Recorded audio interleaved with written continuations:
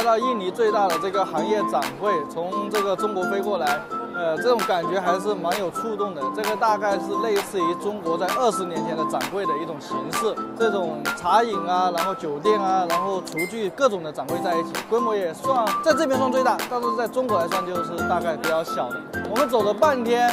看到了比较多的是中国的，像这个设备啊和包材之类的已经走出来了，但是颜料这部分呢，我们竟然走到现在还没怎么看到，可能接下来会发现。而且我们看到了现在这边的颜料的阶段呢，刚才我们一个感觉就是完全没有茶的，做奶茶完全没茶，全部是这个呃果味的。一些粉底的，呃，真的非常类似于大概在零七零八年中国这个茶饮刚刚起步的阶段，所以算是一个比较有意思的一个阶段。然后这边的咖啡可能是比较成熟，咖啡跟糖浆这些类目呢。目前来看还是比较多海外的，包括本土的做的应该算不错的，比较大规模的企业。这边的展会呢，虽然说是叫食品的专业展，但可能因为这个行业的成熟度还是真的跟中国早期还不够成熟，所以它招商会有点是按照国家来的，有一片是马来西亚的，有一片是中国的，还有日本的啊，每个的各种类型的，呃，可能是跟国家相关的产品食品都算，又不像是专门针对酒店用品、酒店行业啊，或者是针对这种餐饮行业的，所以还算是比较杂一些。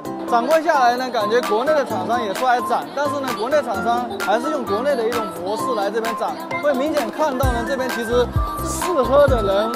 还是比较少的，大部分还是华人，就是本地人对这种产品结构可能还没有到这个阶段，可能还需要比较长的时间，产品升级以后，啊，我们看到很多这种本地的可能是咖啡啊，或者是说这种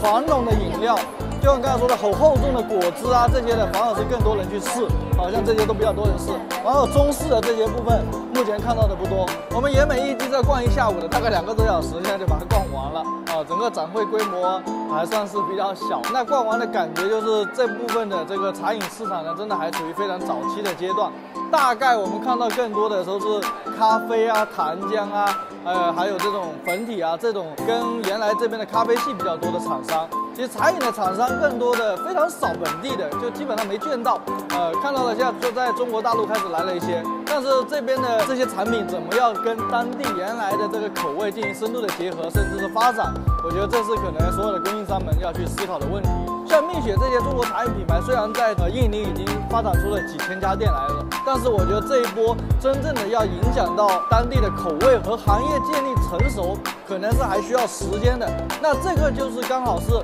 更多的创业者在进入这个市场的最好的时机，你跟着这个大势，后面有大品牌啊，还有大的趋势在推，那你就可能坐在这个火箭上等它成熟。这也是我们优湖国际一直想着说，以中国的这种模式来去输出，支持到更多更多的创业者的一个原因。